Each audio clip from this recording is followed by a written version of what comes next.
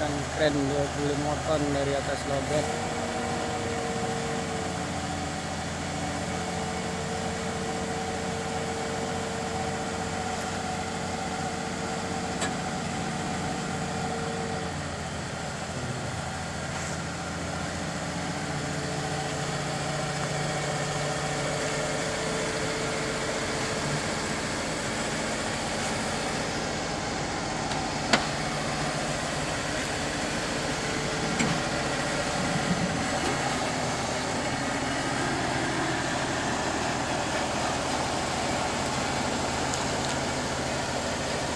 Yudi, kami Yudi Ceren.